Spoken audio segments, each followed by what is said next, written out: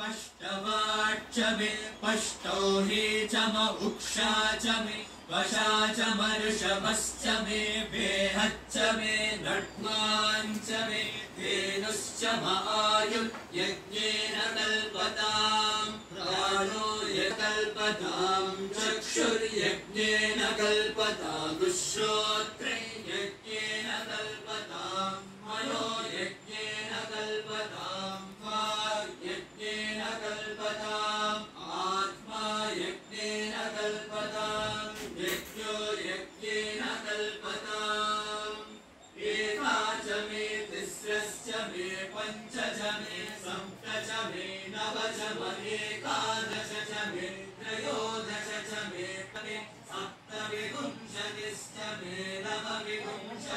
नवविंशति द्वात्रिपुंशच्च मे षट्त्रिपुंशच्च मे चत्वारिपुंशच्च मे चतुश्चत्वारिपुंशच्च मे अष्टाचत्वारिपुंशच्च मे बालस्य प्रसवस्य पिजस्य क्रतुश्च शुभश्च मूर्धा च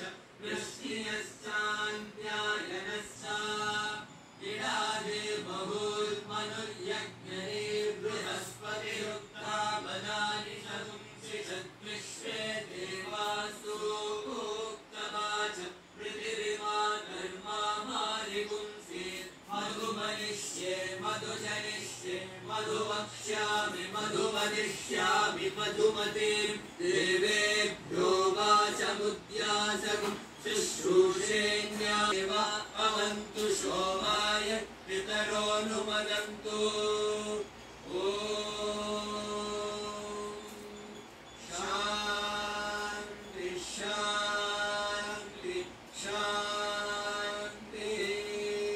तु भेषजम् षण्णो अस्तु द्विपदे षञ्चतुष्पदे ॐ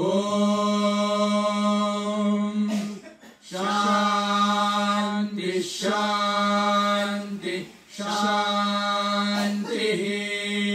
स एवेदगुम् सर्वम् यद्भूतं यच्च भव्यम् उतामृतत्वस्येषानः यदन्नेनातिरोहति